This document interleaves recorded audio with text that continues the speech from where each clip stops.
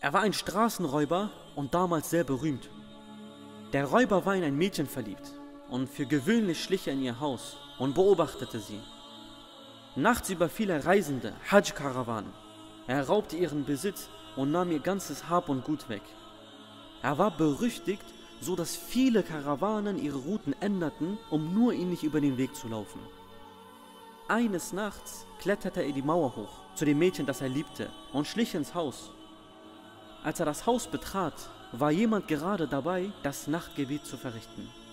Jemand stand vor Allah subhanahu wa ta'ala, betete alleine in der Nacht und rezitierte die Worte Allahs, ist es nicht an der Zeit, dass die Herzen der Gläubigen demütig werden vor der Ermahnung Allahs? Ist es nicht an der Zeit?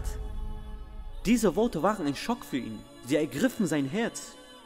Er war innerlich berührt. Das hatte voll ins Herz getroffen.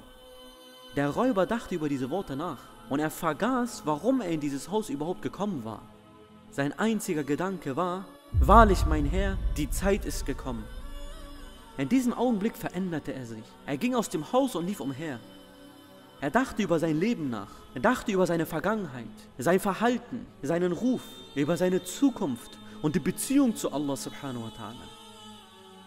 Er lief umher und kam zu einer Gruppe von Leuten, die um ein Feuer herumsaßen. Es waren Reisende, Fremde. Er fragte, ob er sich dazusetzen darf. Sie diskutierten gerade darüber, ob sie die Nacht hier verbringen sollten oder die Reise heute noch fortsetzen. Einer von ihnen sagte, wir sollten in der Nacht hier bleiben, wegen des berüchtigten Räubers. Hier treibt er sein Unwesen und wenn wir weiterreisen, könnte er uns irgendwo auflauern und uns überfallen. Lasst uns die Nacht heute hier verbringen und morgen früh reisen wir weiter. Der Name, den sie nannten, der Name des Räubers, es war sein eigener Name. Da begann der Räuber nachzudenken. Was habe ich getan, dass mich die Leute so sehr fürchten? Was für ein Fluch bin ich nur geworden? Wegen mir haben die Leute Angst um ihr Leben und ihren Besitz. Das brachte ihn erneut dazu, über sein Leben nachzudenken, seine Art zu leben zu hinterfragen.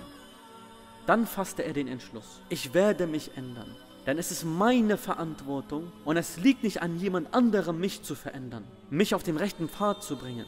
Es liegt an mir.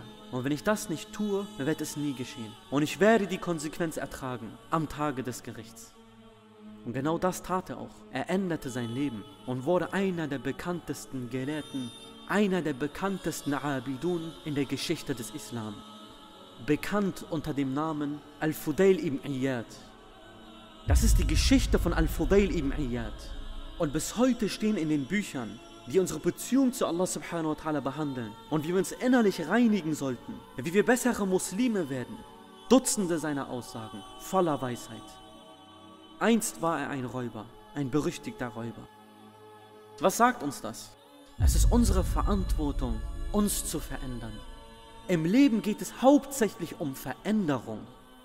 Die ganze Geschichte des Lebens ist ein Prozess der Veränderung. Ein Jahr später wirst du niemals dieselbe Person sein. Du wirst anders sein. Du wirst dich verändern. Die Frage ist nur, in welcher Richtung veränderst du dich?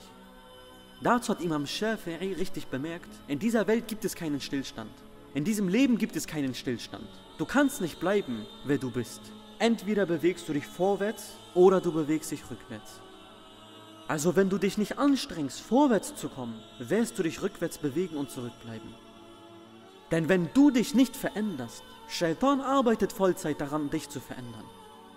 Das ist sein Sinn des Lebens, seine Lebensaufgabe. Der Shaitan hat sein gesamtes Leben nur einem Ziel gewidmet.